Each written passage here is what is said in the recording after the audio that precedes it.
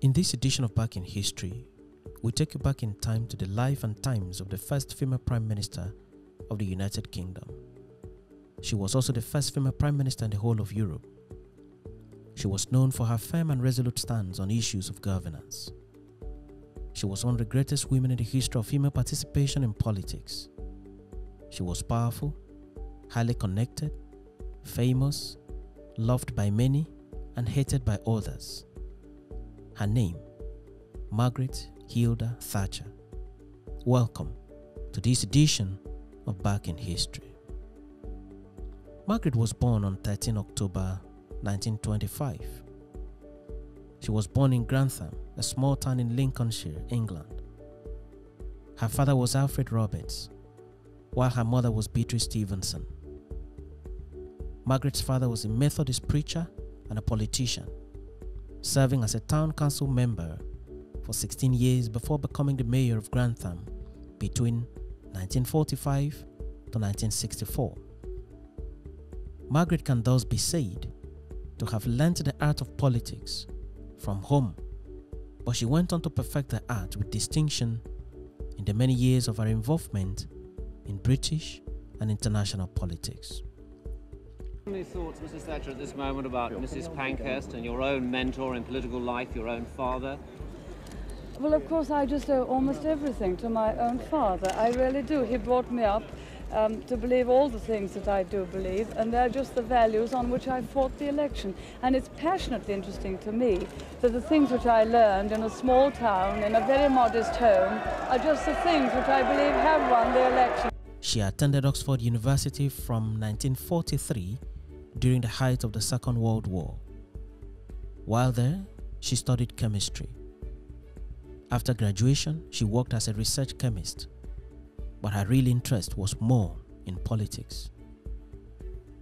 In 1950, she ran for a seat in parliament in the Labour dominated constituency of Dartford using the slogan, quote, vote right to keep what is left.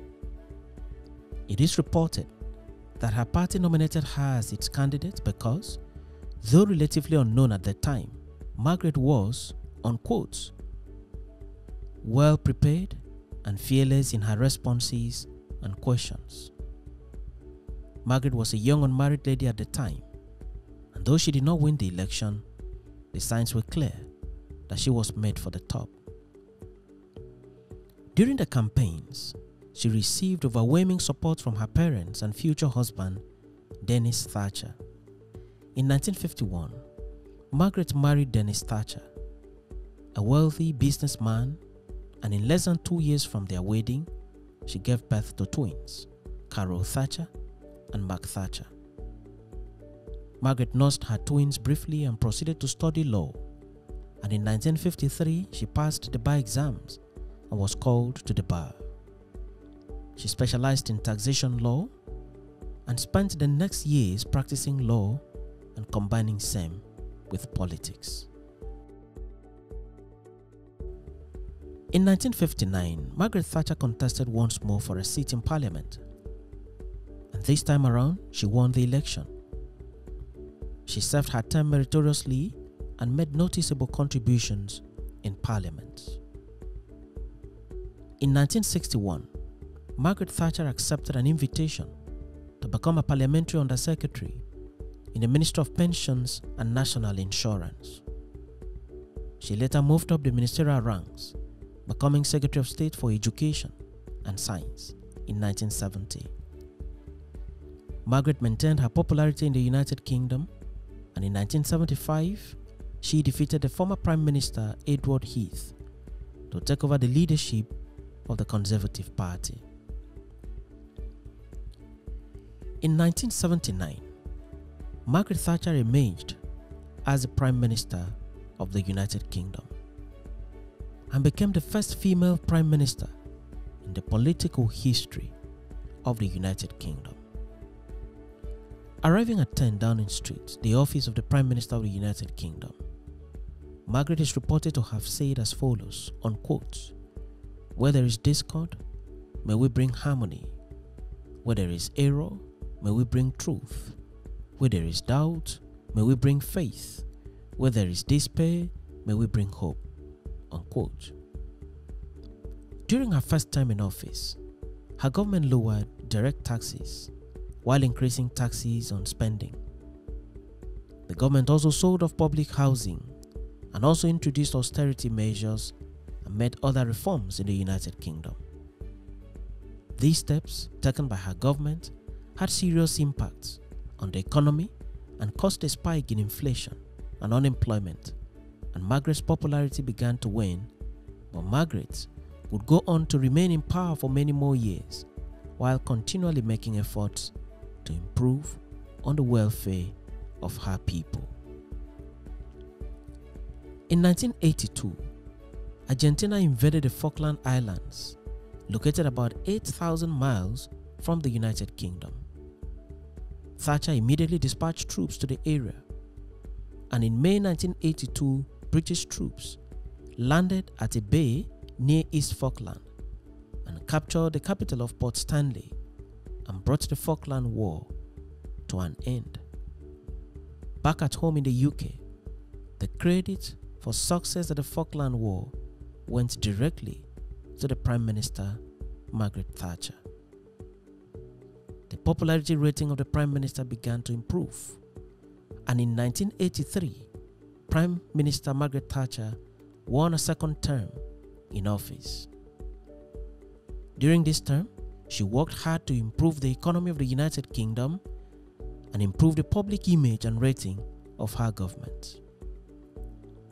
In what became a key part of her legacy, she embarked on the privatization of public utilities such as British Telecom, British Gas, British Airways, Rolls Royce, and a couple of other state owned companies. She gave reasons for the privatization.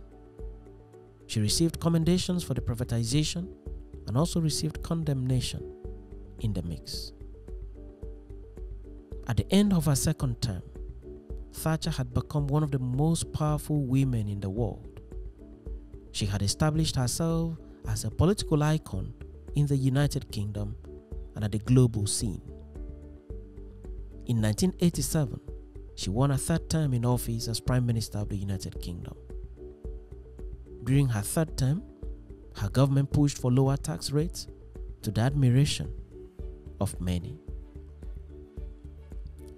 In November 1990, her popularity began to wane, following her support for community charge, otherwise known as poll tax, which was widely unpopular to the people of the United Kingdom. Thatcher was advised by her cabinet members to consider stepping down to avoid being impeached. On 28 November of the said year, she officially resigned as Prime Minister of the United Kingdom and also resigned as leader of the Conservative Party. Before her resignation, she held a private audience with the Queen and made calls to several world leaders to discuss with them ahead of her resignation. Ladies and gentlemen, we're leaving Downing Street for the last time after 11 and a half wonderful years, and we're very happy that we leave the United Kingdom in a very, very much better state than when we came here 11 and a half years ago. It's been a tremendous privilege to serve this country as Prime Minister. Wonderfully happy years, and I'm immensely grateful to the staff who've supported me so well. And may I also say a word of thanks to all the people who sent so many letters still arriving and to all the flowers. Now it's time for a new chapter to open, and I wish John Major all the luck in the world. He'll be splendidly served, and he has the makings of a great Prime Minister, which I'm sure he'll be in very short time. Thank you very much. Goodbye. She then made a final speech at the Commons. Her resignation was a shock to several of her admirers at home and internationally.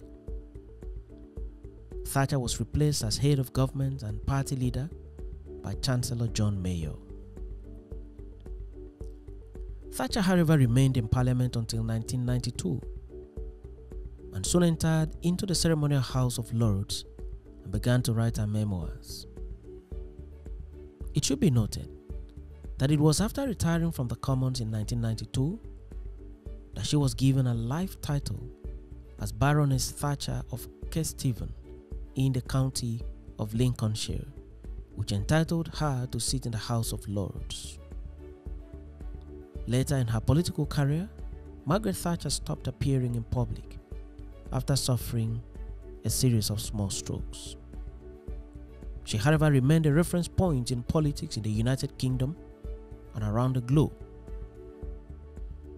On April 8, 2013, Margaret Thatcher, the first female Prime Minister of the United Kingdom and the first female Prime Minister in the whole of Europe, died of stroke in London at the age of 87. She received a ceremonial funeral with full military honors and church service at St. Paul's Cathedral on April 17, 2013. Her funeral service was attended by Queen Elizabeth II and her husband, the Duke of Edinburgh. That was the second time in the Queen's reign that she attended the funeral of her former Prime Minister after that of Winston Churchill in 1965. Margaret Thatcher was the longest serving Prime Minister in the history of the United Kingdom, having served for a total of 11 years and 209 days from 1975 to 1990. In 1975, when she defeated her then boss, Edward Heath, to become the leader of the opposition, Margaret was the first woman to lead a major political party in the United Kingdom. Having led the Conservative Party to victory in three consecutive general elections, Margaret Thatcher ranks among the most popular party leaders in the history of politics in Britain. At the foreign policy front, Margaret Thatcher undertook visits across the Atlantic, establishing an international profile and reputation for herself, and in the process, promoting her economic and foreign policies. She met with several world leaders and shared her views about governance with them. In the words of John Campbell, unquote, Margaret Thatcher was not merely the first woman and longest serving prime minister of modern times but the most admired, most hated, most idolized, most vilified public figure of the second half of the 20th century. During her reign, she stayed controversy on some national and international issues, but Margaret Thatcher is nonetheless viewed favorably in historical rankings and public opinion of British prime ministers. Margaret came saw, breathed the odds, and conquered the political landscape in the United Kingdom for several years, and her memory shall remain green in the political history of the world for many more years to come. Thanks for watching this edition of Back in History, and do remember to subscribe to the channel for regular notifications.